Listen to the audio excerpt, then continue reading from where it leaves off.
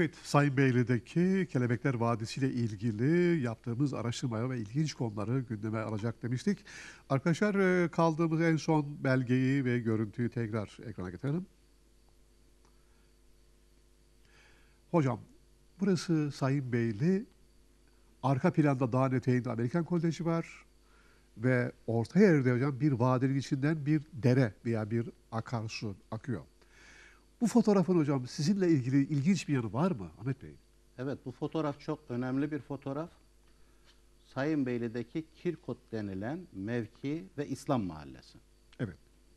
Bu fotoğrafta en geride gördüğümüz beyaz binalar Amerikan Koleji. Hemen arkada o orta yerde hemen sahada yakın bir yerde Evet. o canlı yazısı yazan yere yakın bir yerde Amerikan Koleji var değil mi hocam? Orası Amerikan Koleji. Amerikan Dağın Koleji- eteğinde. Evet dağın eteğinde. Onda, onun etrafında başka hiçbir bina yok. Dikkatinizi çekin. Oraya doğru bir yol gidiyor. Bak hocam aşağıda Evet. bir yol daha var.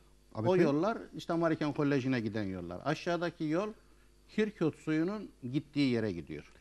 Evet o derenin hocam aşağı doğru sol tarafta binalar var Ahmet Bey. Nedir onlar? Sizin binanın, sizin fotoğrafınızın olduğu, resminizin olduğu yerde ki görünen bina Sayın Beyli'deki İslam Mahallesi Camii. Cami. Müslümanların camisidir. Yine sizin resminizin sol sağ üst köşesindeki bina Necmettin Erbakan'ın amcası Nazır Efendi'nin konağıdır. Hemen onun yanındaki binada Melek Hanım'ın şehit edilen Sayın Beyli'deki ağıdı yazan Melek Hanım'ın e, evidir. Evidir. Şu anda bu yerde hiç ev göremezsiniz Sayın Beyli'de. Burası atıl vaziyette durmaktadır. Tarihe bir saygı olarak insanlar buraya ev yapmadılar. Çünkü burada çok gözyaşı aktı, kan oldu, işkence oldu. Önce İslam mahallesindeki Müslümanların camii yakıldı, evler yakıldı. Nazır Efendi'nin, Melek Hanım'ın ve yine orada bir sürü insanın katledildi. Burası bizim için yanık Bu, şehirdir. bu hocam e, Sayın Bey'deki tek e, İslam mahallesi Evet. buraydı. Burası yakıldı mı? Yakıldı. E, Savaşta. Tamamen yakıldı. Hiçbir tane burada ev kalmadı. El kalmadı. Şimdi orası boş mu hala? Boş. Şu anda hala boş. O yine aşağıda bir yerde değirmen var. O Nazır Efendi'nin konağının hemen altındaki yerde bir değirmen var. Bu değirmenin içerisinde onlarca, yüzlerce insan işkenceyle öldürüldü. Evet diyor. Farklı bir görüntüye geçelim arkadaşlar. Ve şimdi evet bu fotoğraftaki benim. 2010 yılında Sayın Bey'le gittiğimde Ahmet Kaytancı ile beraber gezerken kalenin üzerine çıktım. Dedim ki burası Kirkot Vadisi, o parmağımın ucundaki tepenin eteğinde Amerikan Koleji var. Hocam hiç ne ev görüküyor ne bir yapı insan şeyi var. Evet. Biraz, sene önce. biraz önceki gördüğümüz fotoğrafın yeri burası. Ve hala orası bir teyze vardı. Senin de akrabandı. Evet. Amcamın eşiydi. Nazmiye Hanım. yengem. Ne? Oraya yanık şehir demişti. Ha, yanık şehir diyor değil mi Evet oraya? orası yanık. Bizim Sayın Beyli'de oraya yanık derler. Çünkü orada evki evlerin tamamı yakıldı. O tepenin hocam eteğinde Amerikan Koleji. Orada Evet, tarihi değil mi? O su gelen yer oradaydı. evet. Bir de hocam tepenin eteğinde bir hamam mı vardı Evet, orada? Kızlar Hamamı var. Sayın Beyli'de o kadar nüfusa hitap eden bir tane hamam vardır tarihte. O da İslam mahallesindendir ve Müslümanlara aittir. Hamam. Hamam şu anda kalıntıları var. Bir an önce restore edilmeli ve tarihimiz insanlara anlatılmalı. Evet diyor. Hamamın eski kalıntıları duruyor. Farklı bir görüntüye geçelim arkadaşlar. Ve Ahmet Kaytancı araştırma yapıyor Sayın Beyli'de. Hocam nedir bu Ahmet Bey? Biraz önceki bahsettiğim onlarca insanın katledildiğini söylediğim değirmenin taşı bu. Bu halde Dövme duruyor? taşı. Toprağa batmış. Evet toprağa batmış. Tarihi kalıntılar içerisinde görünen değirmen taşı maalesef bunu da yine bizim üzülerek söylüyorum darma duman ettiler. Bu kaç yıl oldu? Daha birkaç yıl önce çektirdiğim fotoğraf. Bu yaz gittiğimde bu fotoğrafın bu taşın yerinde eserler kalmamıştı. Çok üzülüyorum. O eseri oradan alıp götürmüşler mi Ahmet Bey? Yok. Gömmüşler. Kepçelerle, dozerlerle birilerine ev yapacağız diye gömmüşler. Demek ki orada da şu an kaçak yapılanma ve tarihi tahribatlar var. yani. Olmaması gereken şeyler. Üzülüyoruz. Çünkü Sayın Beyli'de, Sayın Beyli'yi yöneten insanlar, bunu sözlerimi iyi dinlemeliler. Sayın Beyli'deki her taşın kıymetini bilmek zorundadırlar. Çünkü Sayın Beyli bir tarihtir ve bu il, ilçe tarih boyunca hep konuşulacak. İşte 2015 yılında sözde Ermeni soykırımının 100. yıl diye lanse edildiği yıl Sayın Beyli'nin en çok konuşulduğu yıl olacak. Peki biz neyle karşımıza çıkacağız? Her şeyi yok et, yok et, yok et. Bu taşta yüzlerce Türk'ün kanı var. Sen yok et, göm. Olmadı arkadaş. Evet. Ben buna çok üzülüyorum. Böyle diyor Ahmet Bey. E, farklı bir görüntüye geçelim arkadaşlar. Ve yine karşımızda hocam e, evet Kirkot Vadisi kaleden o vadinin görüntüsü Ahmet Hocam. Bak bulutların gölgesi yan- yansımış. Vadide ağaçlar var ama hiçbir ev yok hocam. Yine değil bu Amerikan Koleji hemen o yeşil olan orta evdeki Son Alan- yeşilin üstündeki evet. üstte değil mi o? Bir Orada şu yar anda başında. o da yok. Yok yani. Şu anda bir kalıntılarından birkaç taş parçası görürsünüz. Diğerlerini göremezsiniz. Çünkü İslam mahallesinde hiçbir şey kalmadı. Evet. Değişelim arkadaşlar. Ve Sayın Belir'in simgesi tarihi kale. Onarımdan önce hocam. Bu fotoğrafı Ahmet Bey siz mi Ben çekmiştiniz? çekmiştim bu fotoğrafı. Anlatın hocam kaleyi. Bu kale Sayın Beyliğe simge olarak söyleyebileceğimiz en önemli eserdir. Çünkü bu kalenin tarihi çok eski. Sayın Beyliğinin varlığıyla beraberdir. Milattan önce 600 yıllarında Kızvatma Krallığı'nın Sayın Beyli'de Badimon dediği yer burasıdır. Sayın Beyli'nin ilk bilinen adı da zaten Badimon'dur. Badimon'daki kale bu kaledir.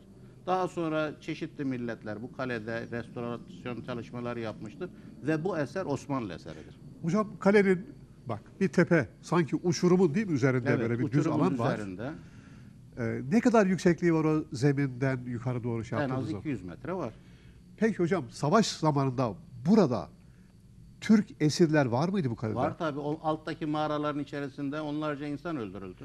Peki oradan aşağı insanlar attılar mı? Atıldı. Evet. Ya atıldı. O kalenin burcundan aşağı insanlar canlı canlı atıldı. Çünkü bizim askeri kışlamız karşıdaydı. Karşıdaki askerlere göstererek işte bakın biz Türkleri buradan atarız ve bağırarak işte sizin namuslarınızı lekeletiyoruz, kirletiyoruz diye buradan ses verdiler. Yani savaş niye öyle çıktı? Kolay kolay çıkan bir şey değil savaş. evet. Bu kale çok şeylere şahittir. Şu anda restorasyon çalışmaları yapıldı. Yeni fotoğrafı da belki ileride görürüz. Ee, Burası çok önemli bir yerdir. Ve burası sadece Türkler için de önemli değil. Bak onu da söylemek istiyorum. Burası Ermeniler tarafından Bakire Meryem Kalesi ve Kilisesi olarak geçer. Meryem Kalesi evet. Kilisesi. Bakire Meryem Kilisesi olarak geçer. Evet farklı bir yöntem geçelim arkadaşlar. Ve karşımızda savaştan önce Sayınbeyli şehrinin güzel bir fotoğraf hocam. Eski Evet. Haşin şehri. Ahmet Bey. O en bu tarafta bize yakın yerdeki bina hükümet konağı. Orta yerdeki bir ana yol hükümet giriyor. konağı. Evet şu anda orada özel idare binamız mevcut. Orası hükümet konağıdır. Üstteki binamız da PTT binası olarak geçiyor. Ve diğeri de Sayın Bey'in hacının görünüşü. En üst tarafta yine Kale Kilise'nin olduğu bölümü görüyoruz. Bu bina çok önemlidir. Özellikle 1920 yılında bu binanın alt katında Türklere çok büyük işkence yapıldı. O iki binanın arasında bir karaltı görüyoruz, bir ağaç görüyoruz. Evet. Genco Çavuş'un derisinin yüzüldüğü dud ağacı olar. Dud ağacı. Evet. Kürt Genco Çavuş değil Kürt mi? Genco Çavuş'un deresi orada yüzülerek Genco Çavuş katledildi. Eyvah. Ve hükümet konağında esir aldıkları Türklere o yüzmeyi seyrettirdiler. Aman Allah'ım. Vahşet, fanatizm, kötü, korkunç insanları öldürmek yani masum insanları. Evet farklı bir yönteme geçelim arkadaşlar. Ve Sayın Beyli Kalesi hocam. Kalenin bak Ahmet Bey. Sırtında bir delik var biliyorsun değil mi? Evet o top. Top izi. mermisi. Evet top izi. Şimdi tamirat yapıldı. O top e, mermisinin oradaki izi acaba hala var mıdır? Yok kalmamış. Ben de yazın gittiğimde baktım. Özellikle uyarmamıza rağmen restorasyonda orayı kapatmışlar. Çok küçük bir delik görünüyor. Keşke o iz kalsaydı derim. Evet diyoruz. Farklı bir geçelim arkadaşlar. Ve biz son kez bakıyoruz e, Sayın Beyli Kalesi'ne ve eteğindeki tarihi bir yapıya. Hocam o öndeki kalenin bina önündeki işte biraz yapı önce bahsettiğim 7 katlı bina, Murahasane binası şu anda restorasyon edilmesi gereken bence turizme en verişli binalardan bir tanesi olabilir. Sayın Beyliğe simge olmuştur. Fakat şu anda yıkık durumda. Evet. Değişelim arkadaşlar. Kalenin farklı bir görüntüsü hocam. Kalenin eteğindeki o uçurum var yer ve mağaralar var Ahmet Bey. Görüyorsunuz. Oradaki mağaralarda onlarca Türk evladı katledildi. Çünkü Evet. orası İslam mahallesi. Farklı bir görüntüye geçelim arkadaşlar. kalenin hocam üzerindeki mezarların olduğu yer Ahmet Bey. Bunlar Bu kaya mezarlar e, ne zaman oraya Bunlar yapılmış? Roma dönemine ait mezarlar. Yakın tarihimize ait olan mezarlar değil. Buralarda yine kale olduğundan kale komutanlarının, askerlerinin ölenleri buraya defnedilmiş. Kalenin içine. Kalenin içerisine defnedilmiş, onlar korumaya alınmış. Evet. Geçelim bu görüntüyü. Amerikan Koleji'ne yakın yerdeki dağın eteğinde hocam galiba hamam değil mi Ahmet? Evet, Kızlar Hamamı dediğim hamam bu.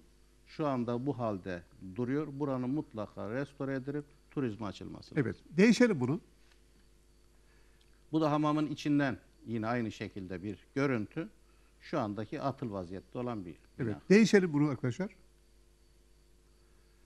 Ve karşımızda farklı bir görüntü. Sayın Bey hocam. Dağların eteğinde tarihi kent. Bugünkü görüntüsü. Hocam şehir sol tarafta yukarı doğru bir yol uzayıp gidiyor. Evet o vadide doğa güzellikleri var ve ilginç bir olay var. Az sonra onu açıklayacağız. Kelebekler Vadisi diye adlandırdığımız yerin bir uydu fotoğrafıdır bu. Değişelim arkadaşlar.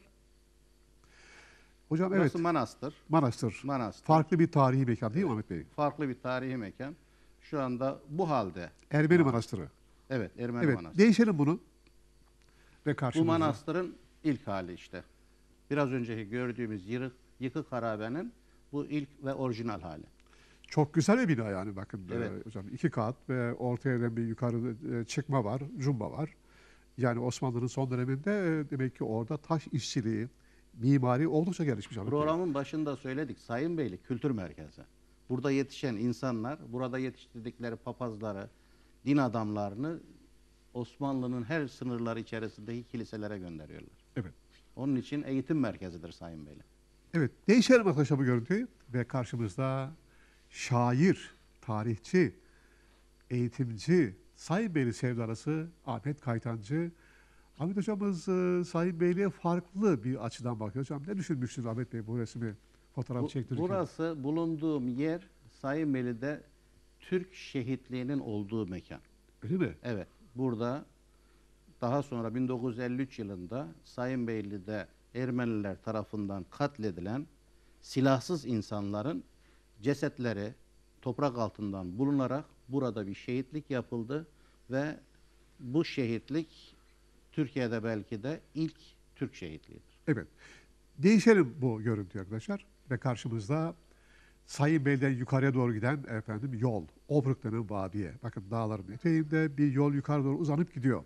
Evet bu yol Tufan Beyliğe giden Sayın Beyliği Tufan Beyliğe bağlayan yol aşağı doğru indiğimizde de Sayın Beyliği İfeki'ye bağlayan ana yol. Yükseklik ne kadar Ahmet Bey? Burada. Sayın Beyliği'nin rakımı 1050. 1050. Bak sağ tarafta hocam çok yeşil bir alan görüküyor o hemen e, yolun sağ tarafında bak vadinin etrafında çok yeşil ormanlık bir alan var ama o yolun yukarı giden güzergahı yani Tufan Beyliği'ne giden yolda e, orada seyrek bir yapılanma var galiba değil mi? Yani Ağaç. orası sol taraftaki yer kayaların olduğu yer. Birinci zaman kayalarıdır orası. Jeolojik olarak bu kayaların içerisinde e, ağaçlar çok yetişmiyor ancak sağ tarafta Obruk dediğimiz yer başlıyor artık.